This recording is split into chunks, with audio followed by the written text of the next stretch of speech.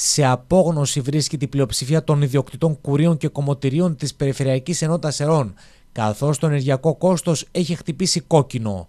Οι λογαριασμοί ρεύματος φτάνουν φουσκωμένοι στι επιχειρήσεις, με τους ιδιοκτήτες να μην μπορούν να ανταποκριθούν. Ο κλάδος γενικά δεν πάει καλά, όπως δεν πάει καλά σχεδόν όλη η αγορά. Το ενεργειακό κόστος χτυπάει πάρα πολύ και εμάς, γιατί μέσα στα μαγαζιά, στα, στα κομμωτήρια και στα περισσότερα κουρία θερμοσύφωνα πιστολάκια είναι από τις ε, συσκευές που τραβάνε υπερβολικό ρεύμα. Οπότε καταλαβαίνετε ότι οι λογαριασμοί του ρεύματος είναι ανεβασμένοι. Όλα τα προϊόντα έχουν ανεβεί. Ο κόσμος είναι τρομοκρατημένος. Ε, κοιτάζει πιο πολύ τα είδη καθημερινής ανάγκης. Σούπερ μάρκετ και το να φάει τις υποχρεώσεις του. Εμείς ερχόμαστε σε δεύτερη μοίρα όπως και κάποια άλλα επαγγέλματα. Οπότε καταλαβαίνετε ότι είναι δύσκολα για όλους. Αγωνιζόμαστε όσο μπορούμε. Σύμφωνα με τον απερχόμενο πρόεδρο του Σωματείου Γιάννη Γκουσμπασανιώτη, το πελατολόγιο έχει μειωθεί και αυτό γιατί οι επισκέψεις στα κουρία και κομμωτήρια έρχονται σε δεύτερη μοίρα. Όπως υποστηρίζει ο κ. Γκουσμπασανιώτης, ήδη δύο επιχειρήσεις έχουν βάλει λουκέτο, μην μπορώντας να ανταποκριθούν στα έξοδα. Έχουμε κάποια μαγαζιά που έχουν κλείσει. Ε, αυτή τη στιγμή, από ό,τι ξέρουν, δύο μαγαζιά, μέχρι στιγμής που ξέρω. Ε, με συναδέλφους που μιλάω από άλλους νομούς και από άλλε πόλεις, ήδη σε πολλές περιοχές ε, της Ελλάδας κλείνουν, ετοιμάζονται να κλείσουν, όπως και εδώ. Θα κλείσουν γιατί δεν μπορούν να τα απεξέλθουν. Και από τη στιγμή που μπαίνεις από μέσα, είναι άχρηστο να το κρατήσεις το μαγαζί. Μαγαζί κρατάς για να μπορείς να επιβιώσεις και να συντηρήσεις την οικογένειά σου. Άμα είναι να μπαίνεις από μέσα, το κλείνεις. Μεγάλο πρόβλημα του κλάδου οι επαγγελματίες που έχουν κλείσει τις επιχειρήσεις τους και έχουν κάνει τα σπίτια τους κουρία ή κομμωτήρια. Ένα επιπλέον πλήγμα στον κλάδο της κομμωτικής είναι και το βαλιτσάκι με κουρέματα στο σπίτι. Επίσης δεν είναι λίγοι οι πελάτες που πληρώνουν βερεσέ, με ό,τι αυτό συνεπάγεται για τα μέλη του σωματείου. Δεν υπάρχει μαγαζί που να μην υπάρχει βερεσέ.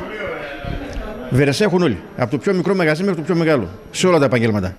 Τώρα, όσο για τα βαλιτσάκια, τα βαλιτσάκια, όσο και να θέλουν να κάνουν ζημιά, κάνουν μια πάρα πολύ μικρή ζημιά γιατί για να πάει από το ένα στο σπίτι στο άλλο πρέπει να υπάρχει κάποιος χρόνος. Έτσι, τώρα το χειμώνα δύσκολα μεταγίνονται. Αυτοί που κάνουν ζημιά είναι αυτοί που έχουν στήσει μαγαζιά στα σπίτια τους. Δηλαδή; δηλαδή έχουν μέσα στο σπίτι τους έχουν στήσει μαγαζί, ένα δωμάτιο ή κάποιοι νοικιάζουν, κάποιοι νοικιάζουν καρσονιέρα ή το σπίτι τους και το έχουν κάνει μαγαζί. Και δουλεύουν κανονικά. Με νόμιμες διαδικασίες; Όχι, παράνομες. Ή έκλεισαν τα μαγαζιά τους και δουλεύουν στο σπίτι τους, ή δεν ανοίξαν καν μαγαζί και έχουν κάνει το σπίτι τους ένα δωμάτιο στο σπίτι τους, το έχουν κάνει μαγαζί. Υπάρχουν και εδώ φαινόμενα τέτοια. Βεβαίω. Έχουμε πάρα πολλούς μέσα στην πόλη. Ε, αυτοί κατά τη δικιά μου τη γνώμη, έτσι, κάνουν τη μεγαλύτερη ζημιά γιατί ανά πάσα στιγμή μπορεί να πάει ο καθένας μας, εσύ, εγώ, Α, ο Β, να πάμε να μπούμε στο μαγαζί μέσα. Το βαλιτσάκι θα πρέπει να το πάρει τηλέφωνο να έρθει. Να έρθει τη συγκεκριμένη ώρα, μπορεί να μην το βολεύει. Εντάξει, όχι ότι δεν κάνει ζημιά και το βαλιτσάκι, έτσι. Αλλά τη ζημιά που κάνει το βαλιτσάκι είναι πολύ μικρότερη από αυτούς που έχουν κάνει τα μαγαζιά στα σπίτια. Εσείς εκεί μπορείτε να παρέμβετε και τι ζητάτε στο κομμάτι του ΣΥΓ. Δυστυχώς ε, όπως είναι η νομοθεσία αυτή τη στιγμή, είναι πάρα πολύ δύσκολο να μπει κάποιος στο σπίτι μέσα. Και στην τελευταία τηλεδιάσκεψη που είχαμε κάνει τα σωματεία από όλη την Ελλάδα μαζί με την Κλαδική Ομοσπονδία μας στην Κόκε και ήταν και ο κύριος Αναγνωστόπουλος, ο Γενικός Γραμματέας ε, Εμπορίου, ε, στην κουβέντα αυτή, γιατί το είχα θέσει το θέμα, δεν μπορεί να επέμβει κανένας μέσα γιατί δεν είναι κακούργημα. Και από τη στιγμή που δεν θεωρείται κακούργημα, δεν μπορεί να δώσει ούτε ο εισαγγελέας χαρτί για να μπει μέσα στο σπίτι. Οι κουρείς και κομμωτές των Σερών ζητούν στήριξη από την πολιτεία και προστασία του επαγγέλματός τους. Από την πολιτεία βασικά ζητάμε στήριξη. Ζητάμε να μπορεί να βοηθήσει ε, τον κλάδο, όπως και τους περισσότερους κλάδους, ε, να παγώσει κάποια έξοδα τα οποία μεγάλωσαν τα τελευταία τρία χρόνια με τον κορονοϊό. Και αυτό που πρέπει να κάνει η πολιτεία είναι να προστατεύσει και το δικό μας το επάγγελμα και όλα τα επαγγέλματα.